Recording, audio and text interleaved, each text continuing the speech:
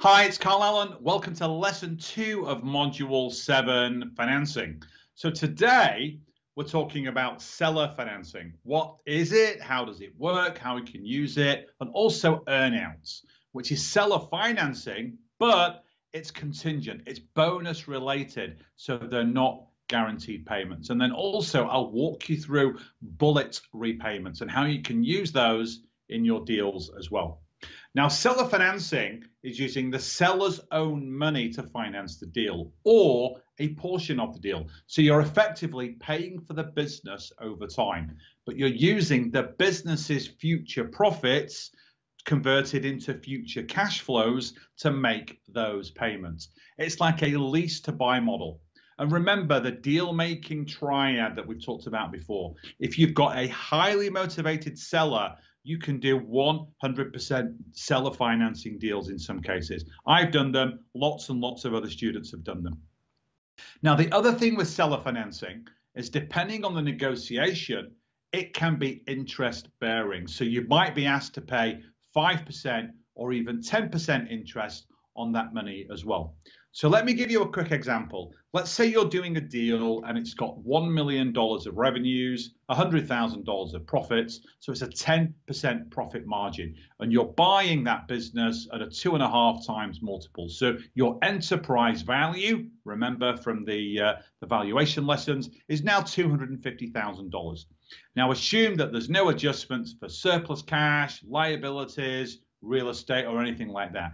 So $250,000, that's what you're paying for 100% of the shares in the target business. And let's say you're doing a straight seller financing deal over five years. So there's no closing payment here, just a five year seller financing note. So you'd be paying $50,000 a year times five.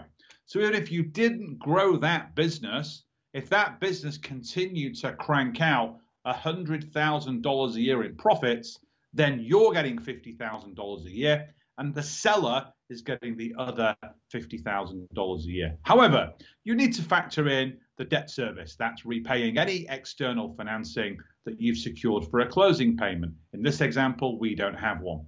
Now, the other thing to think about with seller financing is the seller is typically going to want some security over that money. And there are six types of security. So I'm going to walk you through them all. And as we step up from one through six, they give more certainty to the seller. So they're more seller friendly. Some of these I would actually never do. And I'll explain as we go through the list. Now, the best form of security for you, my friends, as the buyer, is actually not to give any security. And I've done some seller financing deals without giving any security because the seller was so motivated to get out of the business. I was able to negotiate that. But it's very, very rare that you can get away with no security whatsoever on seller financing. Now, the most common option on a straight 100% seller financing deal with no external financing, whatever, means no debt, no equity, no SBA, nothing like that, is to give the seller a full security debenture over the business. It's sometimes called a charge or a lien on all the assets in the business. It's like a big safety net. That means that if you don't make due on those seller financing payments, the seller in the future could come in and take the business from you by seizing the assets. However, if you're raising external financing for a closing payment and you're using those assets in the business, let's say you're financing the real estate, the inventory, the receivables, the, the fixed assets, or, or whatever it is, then the financier will be using those assets to secure the loan. So you can't use those same assets to secure the seller financing because they're already being used to secure that asset based loan that you've used for any closing payment. But if you have that external financing, what you can do is something called a clawback. Now, you're giving the seller the right to claw back or take back on the remaining shares in the business that you have not yet paid for. So let's do an example. Go back to our example deal the total consideration including the debt that we were inheriting, was just under $2.1 million. And we negotiated $830,000 in change of seller financing, which is about 40% of the total deal value. So if you did this deal and you never paid the seller financing, the seller would legally have the right to come and claw back, to take back, to repossess that 40% of the shares in the business because you've paid for the first 60% with your closing payment. So this is to give the seller security that they can get the outstanding shares back that you haven't yet paid for. But as you make good on that seller financing payments every month, every quarter, every year, then that clawback it ratchets down. So every time you make a payment and you eat into that seller financing balance, it gets smaller and smaller. That clawback amount decreases because you've paid for more shares, you've acquired more of the equity. So this is where I typically stop. I never go beyond this, but I've seen people give even more security because the fourth option would be to offer a clawback on 100% of the shares. So it's all or nothing. So bear in mind your merger model, you've got all of your deal synergies and all of your cross selling cash flows. You might be extremely confident that this combined group is going to absolutely generate so much cash flow that you're happy to have a 100% clawback if this is the only way you can get the deal over the line with a big chunk of seller financing. But the danger here is that if you've made 95% of the seller financing payments and for whatever reason you couldn't make that last 5%, the seller legally has the right to take the entire business back from you, which is why I absolutely don't do it. And I don't advocate that you do it either. Now, the next option is even worse, but we'll talk about it anyway, where you agree to only receive the shares as you pay for them. So in this case, in our example, we'd only have been given 60% of the equity in the business at closing because the seller would have kept the other 40% and would only release those shares to you as you make those seller financing payments. That's kind of okay. But the challenge is under a normal membership or operating agreement in that business, you're going to have a partner shareholder who will technically be entitled to 40% of any cash flow distributions that the business makes. If you're going to offer this level of security, you'd have to have it written in the sale and purchase agreement. And we go into this more in module number eight. You have to write it into that agreement that that you get 100% of the distributions from the business, even though you only own 60% of the equity, because you're going to need all of that cash flow to actually service the deal, pay the seller financing, and service any debt that you've got from buying the business with the closing payment. And finally, there's number six. And I've seen some people do it. Personally, I think it's crazy. I've never done it. Just move on to the next deal if you have to do this. But what you can do as a last resort is you can sign a personal guarantee with the seller on the seller financing. But again, I strongly advise you not to do that. Okay, now let's talk about earnouts. Now, earnouts are slightly different to seller financing. They're bonus payments, so they're not guaranteed. They're like seller financing payments. They use the future cash flows of the business, but the bonus payments, those cash flows need to be over and above what the business is currently generating. So this is where you've got big future forecasts in this business and the seller wants some kind of value for that in the future. Remember, we can only value the deals on what they're currently doing and have done historically. We can't place a value on big promises for the future. But if everyone's confident that those promises are going to be realized, then the seller should agree to an earnout to receive some of that future value. Now, earnouts are often used to bridge a valuation gap between you and the seller. So let's say you've offered $4 million for the business uh, but the seller wants five. What's another million dollars? You could offer that $1 million extra through earnouts. And what I love about earnouts is you shift more of the deal risk from you to the seller. So you're making some of the payments contingent on some pretty strong performance, which I'll show you in a minute how to calculate.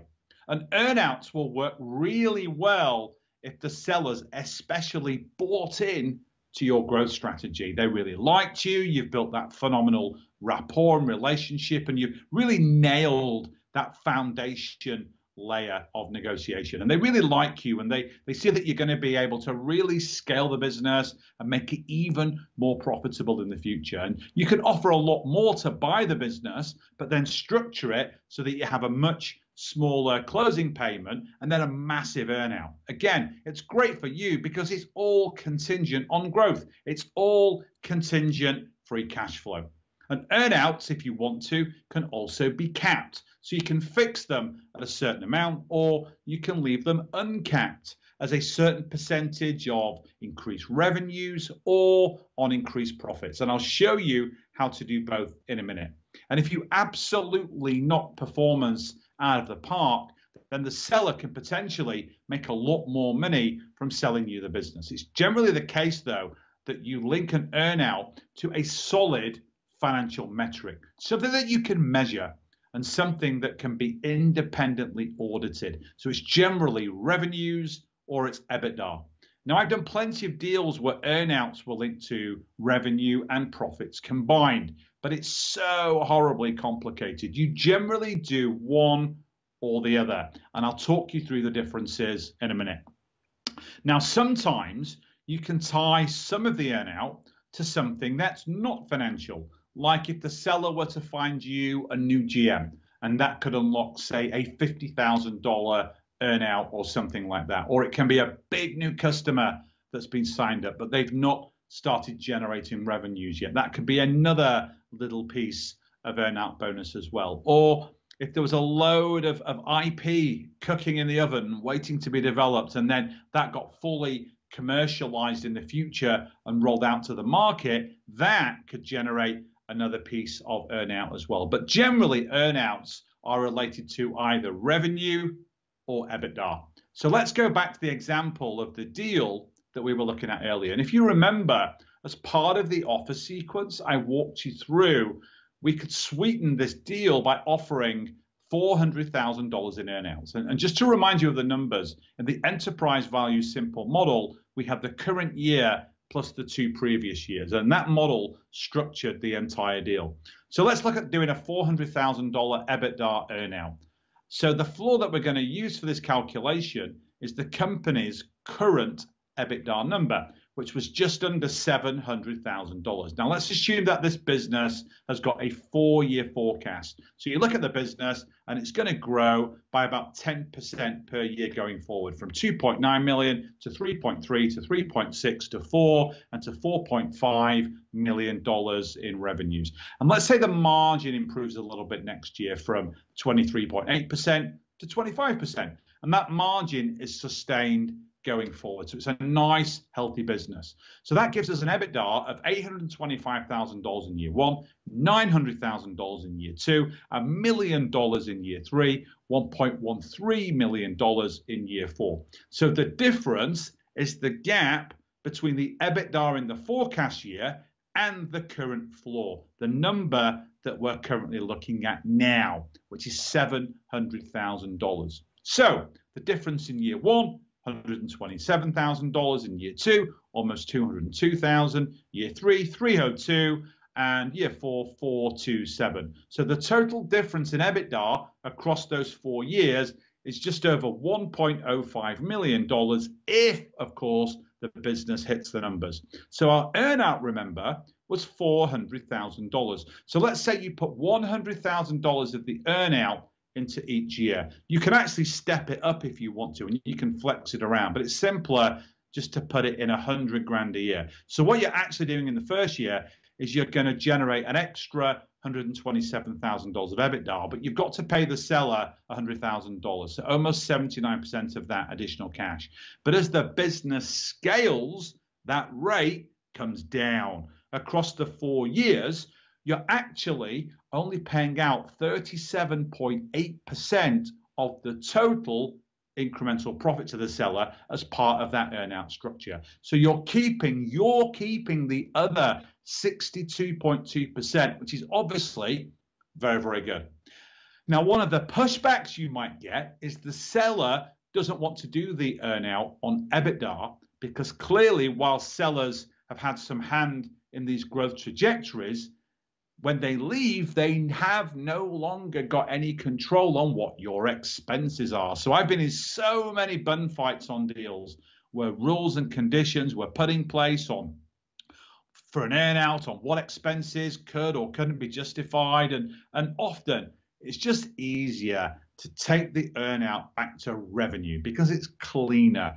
You, as a business owner, can manipulate profit numbers, as you well know, but you can't manipulate revenue. So if you're doing an earnout as a revenue split, again, it's still $400,000. It's going to be $100,000 a year. The revenue floor is the current year, so just under 3 million. And then we've got the forecast we had before going from just under 3 all the way up to 4.5 million dollars. But this time, instead of calculating the EBITDA difference, we're calculating the difference in revenue. So there's the difference in year one up to just under 1.6 million in year four. And we're generating the earnout now on a percentage of that revenue, but it's a much smaller share, as you can imagine, because revenues are larger than profits. Now, the seller's share of the incremental revenue is going to be just under 28% in the first year, right down to just over 6% in the fourth year. So you're sharing on average 11% of the incremental revenue over and above that floor, that $2.9 million floor over that four year period.